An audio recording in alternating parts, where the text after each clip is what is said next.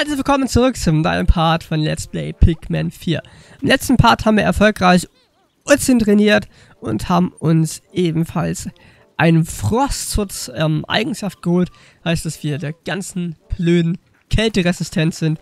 Gute Bedingungen, um jetzt die Expedition fortzusetzen in diesem Part.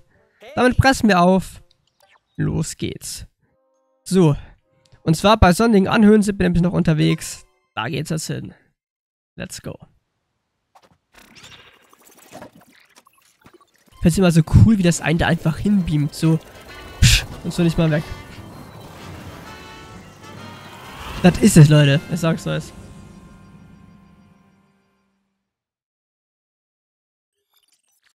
Sonnige Anhöhen, Fortschritt 9. Ah.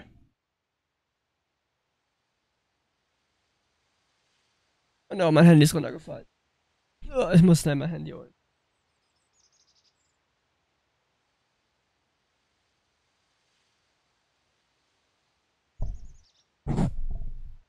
Da war es doch mein Smartphone.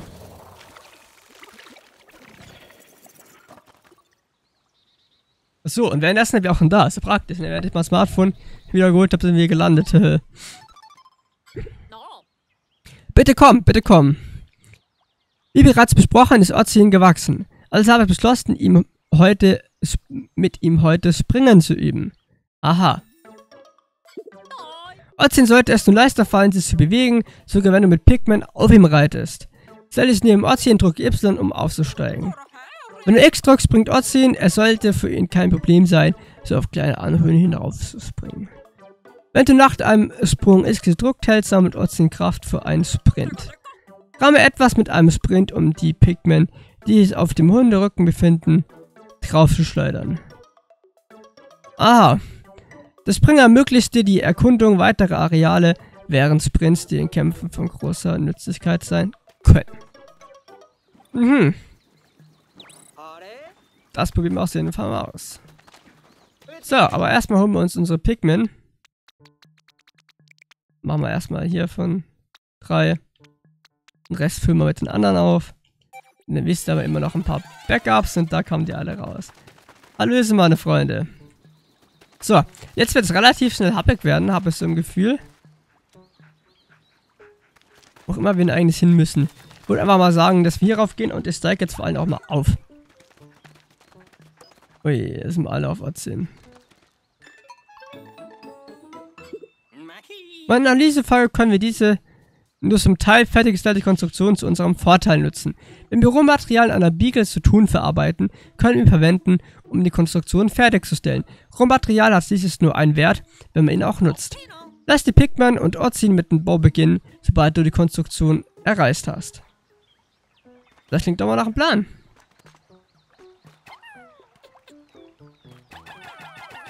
Da brauchen wir ja ein paar zum Bauen.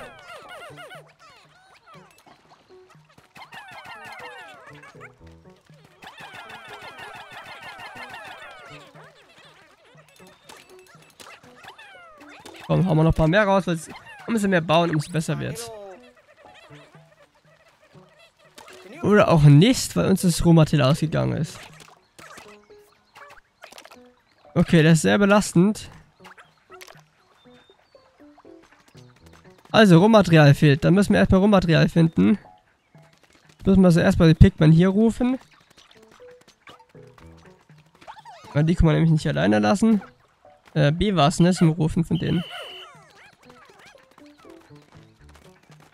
So, da gehen wir erstmal so Biege zurück.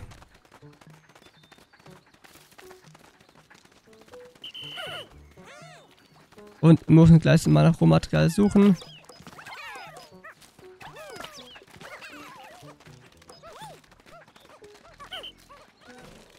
So, jetzt sehen wir doch einfach gleich mal aus. Exit drückt halten.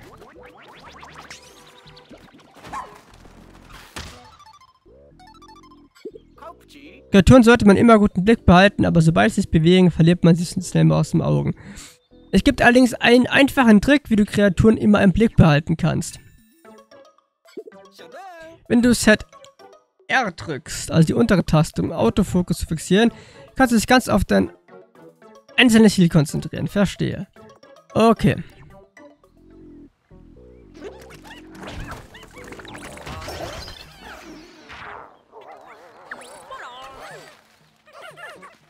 Genau, das tun wir mal alles hinter äh, wegtragen. Und den Rest, der Rest kommt wieder zu mir. Supi. So, da oben sind ja noch Diamanten, jawohl. Und was haben wir da am dümmsten jetzt hinkommen?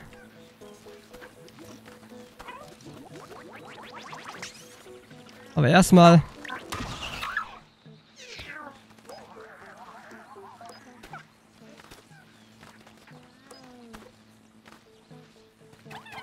Machen das mal ein paar Pigmen.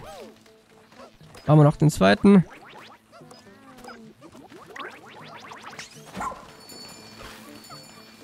Das sieht nicht so gut aus. Aber da ist irgendwie Strom. Wenn ich dann Pikmin hinwerf, verreckt er. Hab mir das fast gedacht. Und nein, ist ein Pikmin hat einen Stromschlag abbekommen. Wenn du es mit Hilfe von Beast dann rufst, kommt das, ist er wieder so ist. Gut, habe ich ein bisschen fast gedacht. Hier, wir müssen so an Stromschlägen. Ähm, bisschen ungünstig, aber okay, es ist das jetzt halt. Es fehlt halt immer noch Rohmaterial. Aber ich glaube, von der anderen Seite könnten wir nämlich wirklich irgendwie hinkommen. Nein. Du kommst zurück, du Pigman. ah, das ist ja auch wer es ist.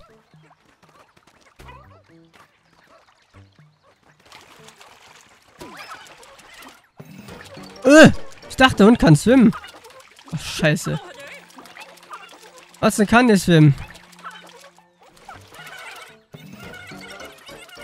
Ja, ja, das Pickback kann auch nicht stimmen, ich hab's gerallt.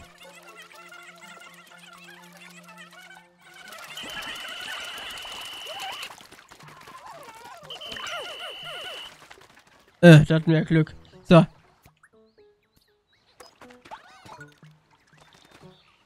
So. Ich hab das Gefühl, wir sind ein paar Pikmin verloren. Ein Pikmin ist noch irgendwo. Ich glaube, wir haben eins verloren. Was ist denn das doofe Pikmin? Ich sehe uns nachher irgendwie richtig dumm Pikmin suchen. So. Ähm.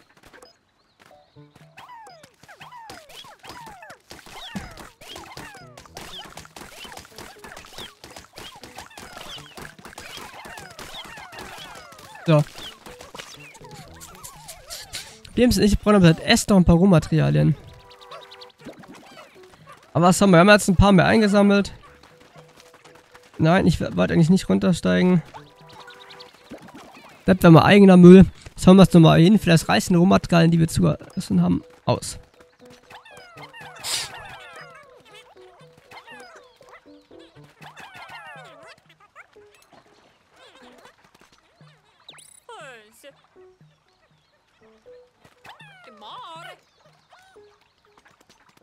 Okay, wir haben immer noch keine Rohmaterialien.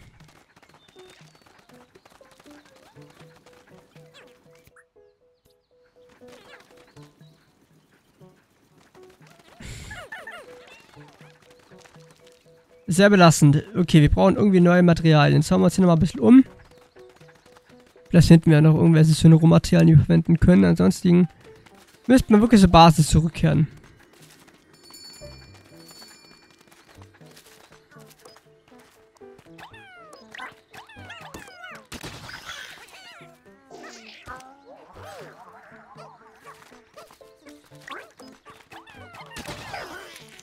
Die quasi mal um alle Gegner. Indessen.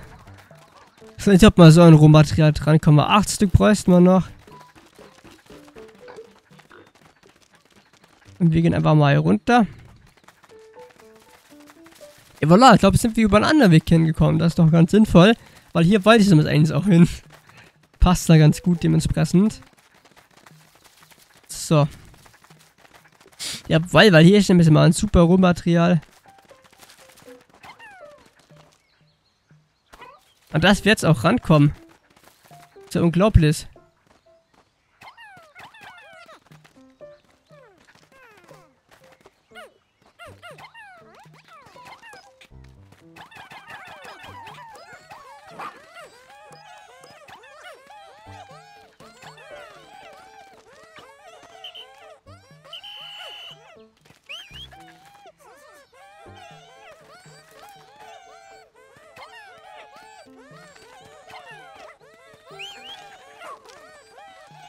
Na komm.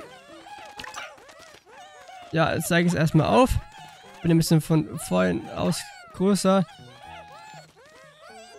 Ja, wir sicken noch eins. Wartet, irgendwie spackt das hier gerade rum.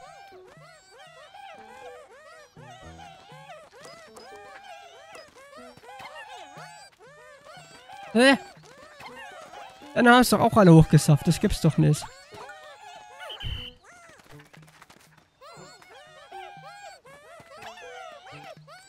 Wieso geht das eine jetzt dann nicht mehr hoch, Digga? Es Ralle ist halt erst nicht.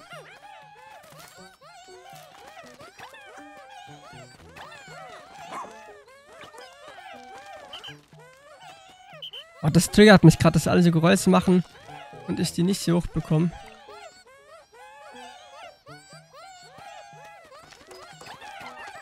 Jetzt hat, endlich. Keine Ahnung, was hier gerade nicht geklappt hat. Gut. Ähm, dann springe ich wieder rauf aufs Ort sehen. Und sehe mal so, wie das Ding verwurstelt wird. Gut, dann sind wir Mittag, ich sehe schon. Gut, ein Pikmin, der ist noch ab, da kümmern wir uns jetzt mal hier drum.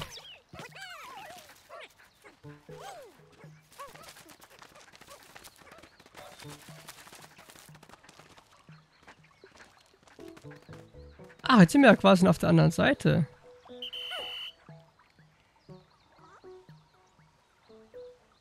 Ja, ist verkackt, kommst du wohl nicht rüber. Hm?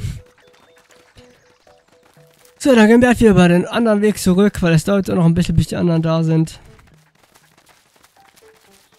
Gut, die müssen jetzt dann auch ein bisschen mehr umschauen, vor allem auch wenn die Brücke fertig ist. Das ist dann ja auch ein schnellerer Weg, um da hinzukommen.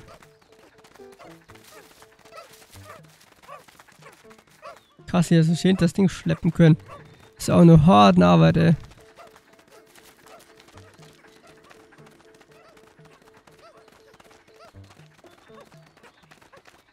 Das war mal die, anderen Pikmin her.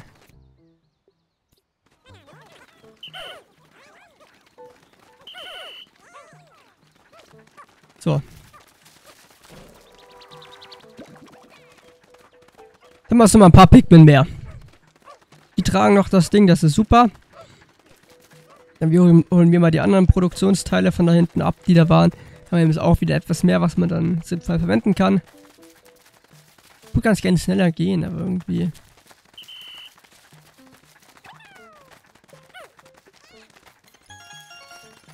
Ja, es hat's eingesammelt. So, ich gibt da klar nur Glycerum, natürlich kein Rohstoff, da war was.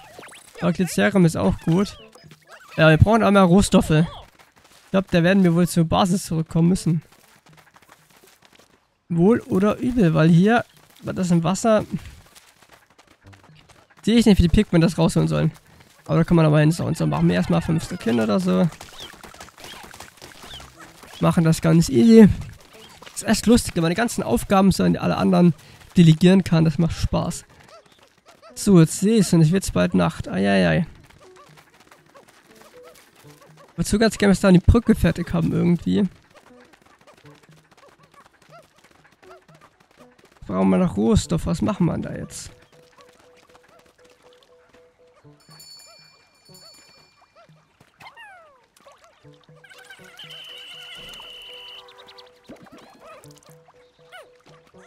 Ah, ich kann mal vergessen. Sieben Rohstoffmaterial fehlt noch. Ich glaube, es hilft nichts. Ich muss noch mal kurz in die Höhle ranzhauen. Auch wenn es halt immer später wird.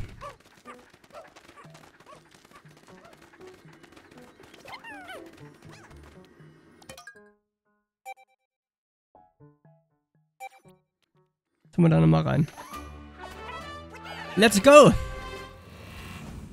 So, hoffentlich finden wir da jetzt äh, die Rohstoffe, die wir ja auch finden sollten.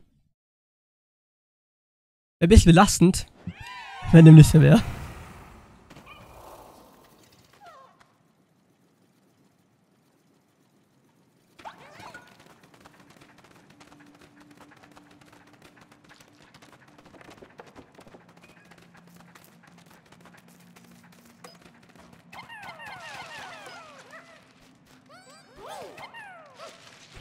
Die sechs Stück sollen das Ding mal hochtragen. Und das ist gut, da jetzt dann für uns nachher nach oben. Und ich mal schauen, ob es hier nicht noch irgendwo irgendwas an Rohstoffen oder ähnliches gibt. Von uns in irgendeiner Form hilfreich sein könnte, aber ich befürchte, dass das hier leider nicht so sehr danach aussieht. Warten wir mal ab, was das Ding ist. So, jetzt haben wir wieder mehr, genau. Serium, das ist doch super. So, nee, dann gehen wir hier mal wieder raus und gehen nach oben. Und ich denke mal, dass wir auch tatsächlich erst im nächsten Part das dann finden werden, dort erst die Brücke fertig bauen können. Aber mal sehen. So, jetzt geht's uns erstmal nach oben. Man muss ja nicht immer Leute retten, der weiß hier gerade stand. Aber es hat die komplette Forst. Okay, also diese eine Tube da hat noch diesen, diese 15% ausgemacht, die gefehlt haben. Aber die haben wir jetzt und das ist ja die Hauptsache. So sieht es nämlich auch aus. Das ist es. So. Ja, genau, man könnte das Ganze auch im Koop-Modus spielen, der Koop-Modus ist ein bisschen lame. Das ist so das Problem daran. Deswegen lassen wir das an dieser Stelle besser mal.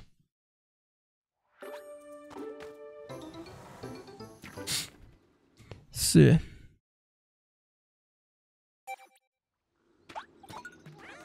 Gut, wir müssen dann die U-Bild im Blick haben, aber ich sehe schon, wir können da gerade wirklich nicht saumäßig viel machen.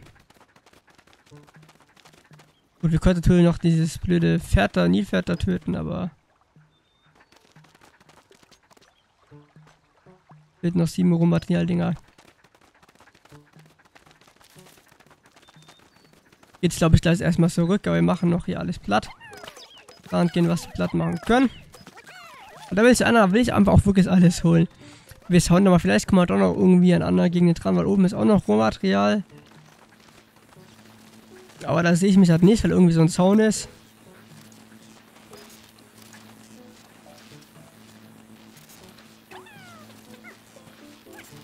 Und, und, äh, und da drüber.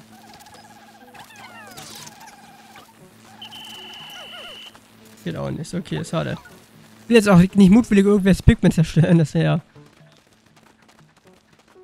Ich meine, wir können jetzt natürlich einfach mal ein bisschen weiter schauen. Weil, man, ah. Da sieht man an.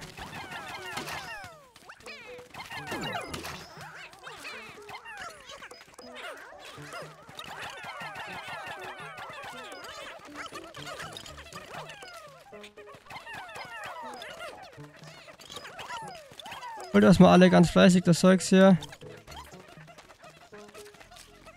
Supi, jetzt habe ich kaum noch Pikmin. Aber das heißt, wird alles brav hergeliefert und das wäre genau das, was wir gesucht haben.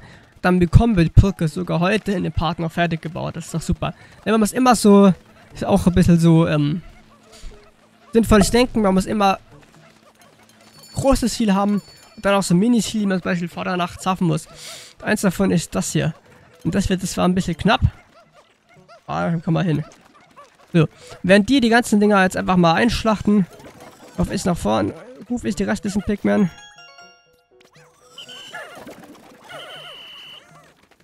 Und schauen dafür das Ding schnell fertig bauen. So.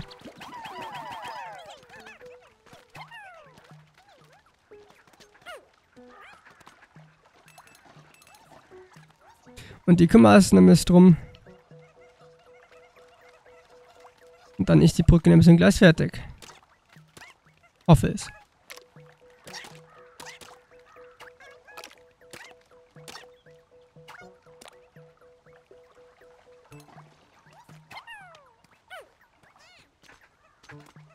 Gut, ganzen Rest. Ruf ich dann gleich her.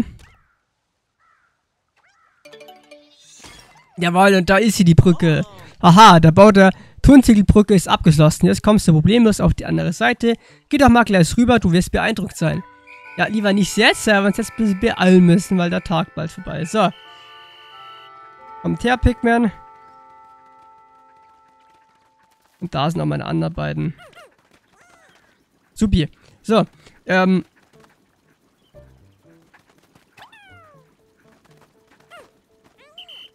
Ich glaube, es bleiben einfach hier. Weil sind wir sicher. Hier können wir es hin. Ja, super. Und dann zu der gebauten Brücke. Das hauen wir dann im nächsten Part. Das ist der Plan. Ja, jetzt warten wir eigentlich nur noch bis Nacht am Brist, ne? Weil viel mehr kann man ja eigentlich nicht machen. Läuft, läuft, läuft. Kommt voran. So muss das. Uh, und da ist eine riesen Pflanze. Boah. Mit so einem Szenerteil. Das ist ja geisteskrank. Die werden wir uns auf jeden Fall auch im nächsten Part dann ausführlicher anschauen. So, und jetzt ist die Nacht gekommen. Und mit dem Countdown sage ich danke fürs Zusehen. Macht's gut mit dem Part, äh, mit, macht's gut mit dem Part, macht's gut. Bis zum nächsten Mal. Und ciao.